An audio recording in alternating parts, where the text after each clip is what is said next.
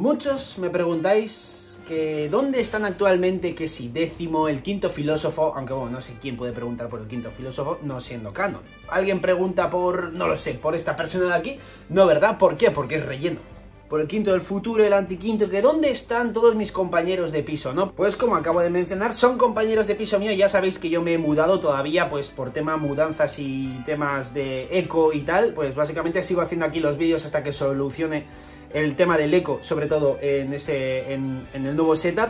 Pero ellos, ya están ahí todos, o sea, ya se han mudado y por eso últimamente por aquí no aparecen, porque están todos en el nuevo setup esperando a, pues a, a volver a hacer el gilipollas y tocarme las pelotillas un poco. Buenos días Nakamas, soy el quinto emperador y hoy os traigo un nuevo Elecciones de Nakamas. Oye Quinto, ¿cómo funciona una Elecciones de Nakamas? Pues mira, amigo mío, no hace falta una tesis doctoral, no hace falta tener un máster en no sé dónde, de Cambridge, de Oxford y de hardware y de software, ¿vale? No hace falta nada de eso para entender lo que son elecciones de Nakamas. Y si no lo entiendes, míralo. Me das a elegir entre dos cosas de One Piece y yo tengo que elegir una de ellas, ya está, wow. Como siempre os digo, Nakamas, lo primero de todo me gustaría muchísimo que os suscribierais al canal si todavía no lo estáis. Y una vez dicho esto y que os hayáis suscrito, porque ya sabéis que hasta que no os suscribáis yo, yo me niego a empezar. Vale, ya está, perfecto. Ahora sí que sí, podemos empezar con esta lecciones de Nakamas con la que me comenta mi querido Oscar, que dice lo siguiente. ¿A quién te apetece más volver a ver en la historia, Capitán Kuro o Capitán Morgan? Me parece una pregunta curiosa porque la verdad que no me apetece ver a ninguno de los dos. Si tuviera que decantarme con uno, en realidad me quedaría con el Capitán Morgan por un sencillo motivo, y es que en realidad Kuro me gusta más como personaje, de hecho me parece que para el, momento de la historia en la que estábamos, que apenas había desarrollo de historia y todo, me parece un personaje relativamente completo dentro de lo que cabe, bastante más que Morgan. ¿Qué pasa con el Capitán Morgan? Que se quedó un poco en el aire lo que iba a hacer. O sea, si no recuerdo mal, porque eso solamente lo he visto dos veces en toda mi vida, Morgan se escapó de, la prisión en la que estaba y se fue como en un barco pequeñito cutre y por ahí se fue, desapareció y no sabemos nada más de él. Entonces, bueno, Kuro sabemos que estuvo en la mierda y seguramente ahora esté en prisión y ya está. Sin embargo, Morgan es como que se quedó un poquito abierta la cosa, entonces pues mira, pues me quedaría con Morgan solamente por quitarnos esa curiosidad que ya te digo que hasta que no me lo has mencionado ni me he acordado de él pero bueno, mira, si vemos que ha sido de él, pues mira, una cosa menos en One Piece. Kawaii Coco hace una que me ha dejado un poco, un poco jodido, ¿eh? Que One Piece no tenga final o que termine, pero Luffy no cumpla su sueño. Y es que esta es muy dura, ¿eh? Yo, a ver, eh, me quedo con la segunda por un simple motivo y es que, eh, no, o sea, yo quiero que One Piece termine, no quiero que se marque un Hunter x Hunter. ¿Qué pasa? Que la condición para que termine es que es muy mala. O sea, no es, yo que sé, que muera un Mugiwara, eh, que haya un final triste. No, no, que, que, que, Luffy no cumpla su sueño. O sea, por lo que llevará en ese entonces 1500 capítulos posiblemente intentándolo para que no lo consiga. Uh, Aún así, yo creo que bueno, eh, como siempre suelo decir, no se puede juzgar una obra solamente por su final, ¿no? O sea, quiere decir, ha habido obras, pues como en mi caso Naruto, por ejemplo, que me han flipado de principio a casi fin, y ese casi fin, para mí, pues lo jode bastante cierta personaje, que por si acaso no voy a mencionar nada, ¿vale? Yo creo que ya no cuenta como spoiler el final de Naruto, pero bueno, por si acaso, yo no lo digo, pues eh, que, que apareciera esa persona para mí lo jodió todo, ¿vale? Sin embargo, ¿qué pasa? Que por ese mal final, para mí, mal final entre comillas, para mi gusto, no hace que toda la obra sea mala o sea una mierda. A mí Naruto me apasiona y, es mi segundo manga anime favorito. Entonces con One Piece pues pasaría un poco lo mismo. Si Luffy no cumpliera el sueño, obviamente sería una decepción brutal y la calidad de la obra bajaría bastante. Sin embargo, todo lo que ya hemos vivido es lo que es, no cambia. Aún así, como Luffy no cumpla su sueño, voy a casa de Oda, que no sé dónde vive, pero ya me encargo yo, o por lo menos el antiquinto, el décimo, o quien sea, que están acostumbrados a meterse en problemas por ahí. Alguien encontrará la solución para que Oda tenga su merecido. O de Luffy. Sí. San Crespo, que en japonés se pronuncia Crespo-san, dice lo siguiente. Que derroten Kid y Toraba Big Mom o Luffy solo.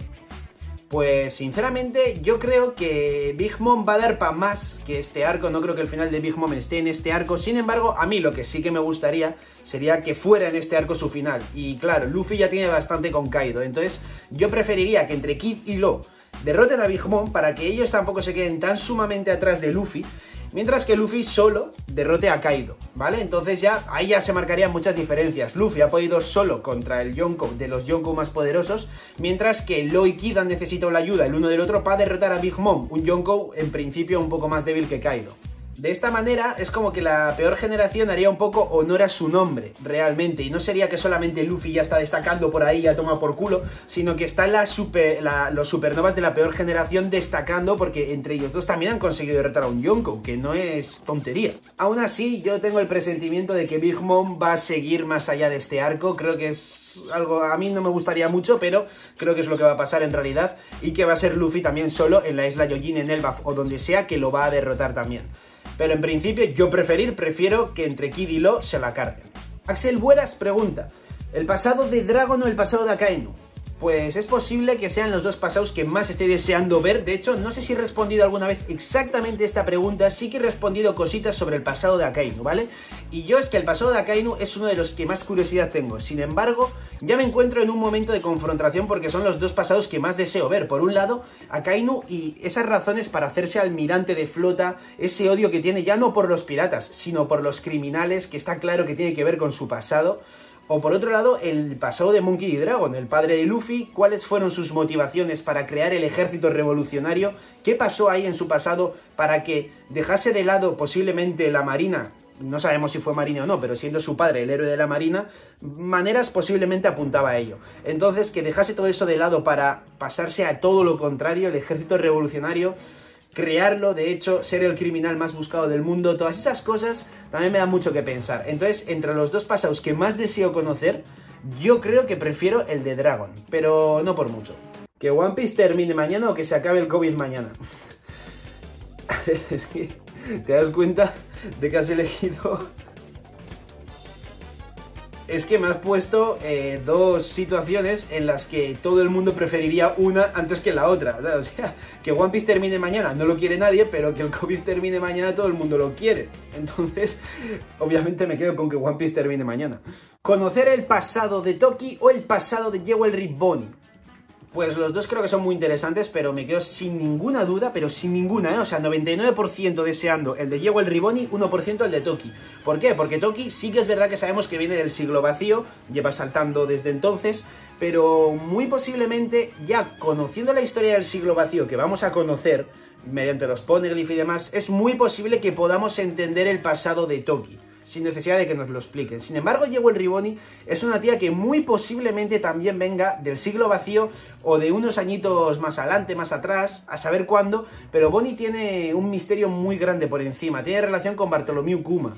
Fue reina del reino de Sorbet. Puede jugar con su edad de manera como quiera. Entonces un momento es vieja, otra es joven y puede rejuvenecerse cuando quiera para vivir infinitamente. O eso es lo que en principio parece ser. Entonces todo eso tiene un trasfondo muy peculiar y muy curioso. Entonces, yo me quedo con conocer más en profundidad el paso de Jewelry que el de Toki.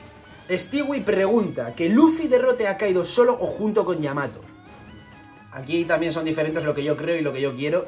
En principio, eh, yo creo que va a ser junto a Yamato, visto lo visto. O sea, que igual de repente Oda se la busca de puta madre para conseguir cambiar y que Luffy sea solo el que la derrote. Pero hasta ahora, yo diría que Luffy tiene un 0,01% de probabilidades de ganarle él solo. O sea, pero así. Ahora, factor Oda, nunca se sabe, jajaja, bla bla bla, y puede pasar. Yo prefiero, preferir, prefiero que sea Luffy solo para que consiga romper esa leyenda de que en uno versus uno Kaido siempre gana. Yo creo que estaría genial que Luffy venga y rompa esa leyenda, ¿no? Sin embargo, parece ser que no va a ser así, o por lo menos por lo que conocemos hasta la fecha. Entonces, pues preferir, prefiero el solo, creer, creo que va a ser junto a Yamato. ¿Quién muere y quién se evangeliza entre Kaido y Big Mom? Creo que poca gente preferiría que Kaido se evangelizase y que Big Mom muriese antes que del revés. Yo creo que Kaido eh, es que el final perfecto para este personaje es la propia muerte, o sea, es el ciclo perfecto de un personaje que nos lo han presentado como que ni la muerte puede contra el propio Kaido. Entonces que Kaido, que su sueño es morir, en realidad, sería perfecto que cierre esa historia de personaje, digamos, con la propia muerte, de tal manera que sería un final perfecto para él, mientras que Big Mom, que la tenemos acostumbrada a defraudarnos y bla bla bla bla bla bla, y que hemos visto que en ocasiones tiene incluso partes buenas, de buena persona, muy entre comillas, como por ejemplo hemos visto en el manga con Otama, o como vimos de Big Mom de pequeña, que no quería que los animales se peleasen, aunque luego los mataba por fuerza bruta y sin querer, pero su intención era buena. Vemos que Big Mom tiene más toques buenos, mientras que Kaido es, no vamos a decir pura malicia, pero sí es un bestia y no se piensa dos veces las cosas. Entonces yo creo que lo que más encaja es que Kaido muera y de un final perfecto y Big Mom nos decepcione y se evangelice. Gomariz dice, ¿reír o llorar en Laugh? Me parece una pregunta preciosa. Creo que vamos a tener ambas, pero creo que es más probable que lloremos. Y yo preferiría llorar, porque una risa en un momento de One Piece es algo, o sea, nosotros como lectores, quiero decir, que, algo nos haga gracia, es algo puntual, que nos hace gracia al momento mientras lo leemos, pero luego ya se nos olvida. Sin embargo, se pueden contar las veces que habéis llorado viendo One Piece y esas veces os van a hacer que recordéis ese momento y que vuestra percepción por la serie mejore mucho. Entonces yo creo que sería mucho mejor llegar a Laugh Tale y que nos cuente una historia que nos haga llorar antes que reír, porque el lloro siempre se queda mucho más grabado. También te digo, eh, yo creo que va a hacer las dos cosas, Oda. Yo creo que va a hacer como una especie como de crearnos en torno a Joy Boy un personaje terriblemente épico e increíble que nos haga reír las cosas que escuchemos que nos cuenta Joy Boy en los Poneglyph pero que a la vez nos haga sacar la lagrimilla y ponernos la piel de gallina por tener eh, el, valor básicamente de contar esa historia tan triste de manera graciosa. Yo creo que es lo que va a pasar. Y por eso, por ejemplo, Roger, cuando vio el tesoro, estaba riéndose con una lagrimilla. Esa lagrimilla da pie a dos cosas. Estaba llorando de risa o estaba llorando mientras se reía por la historia, que es triste. ¿Sabéis? Entonces yo creo que es esa segunda opción y yo creo que es lo que Oda puede llegar a conseguir hacer en nosotros también. Y para cerrar este elecciones de Nakamas, la última pregunta es de Junior, que dice lo siguiente. ¿Twitch o YouTube? ¿Cuál disfrutas más? Y es que esta es muy difícil porque ambos son como, como cosas muy diferentes entre sí. No es lo mismo hacer un directo que grabar un vídeo. Tú grabas un vídeo y luego tienes que estar editándolo, lo subes y tal, y te las gozas. Pero Twitch es más de al momento, haces una horita, dos horas, las que quieras de directo, lo terminas y te olvidas. Entonces depende. Con lo que yo más disfruto de una cosa en concreto, lo más álgido de todo es leyendo los viernes en el YouTube morado los capítulos. A mí eso es lo que más me gusta de todo lo que hago. Dentro de YouTube y de Twitch en su conjunto, todo, si tuviera que elegir una cosa, son los directos leyendo el capítulo. Sin embargo, luego, por ejemplo, la review me encanta, me encanta hacer los peer, entonces, entre Twitch y YouTube, elegir una de ellas es como elegir entre tu padre y tu madre, o entre, en mi caso, Luffy y Zoro, que es muy duro de elegir, ¿no? Pues, no, a mí me quedaría con Luffy, aquí me cuesta más. Entonces, no te puedo dar una de con cuál disfruto más, porque disfruto de maneras diferentes. Sin embargo, de todo, con lo que más disfruto, como ya he dicho, es los directos leyendo el capítulo. Y nada más, mis queridos Nakamasuelis, hasta aquí llegaría este Elecciones de Nakamas es muy posible que la semana que viene ya hagamos el house tour y os enseñe el nuevo setup, que ya veis que aquí, bueno, hay cosas vacías y tal, pues porque ya están en el nuevo setup, junto a más cosas, la nueva resina de Trafalgar Law que ya visteis que me compré y demás, todas esas cosas están ya en el nuevo setup, está casi terminado, y todo eso va a entrar dentro del propio House Tour, obviamente. Entonces, una vez que enseñe el House Tour, es muy posible que a partir de ahí ya empiece a grabar los vídeos en ese nuevo setup. Es decir, la siguiente semana, lo más tardar en dos semanas, cambiamos de barco, Nakamas. Espero que os haya gustado este Lecciones de Nakamas, si es así me gustaría mucho que me regalaseis un likecito y como os he dicho al principio, que os suscribáis si todavía no lo estáis, Nakamas. Un saludo y hasta mi próximo vídeo.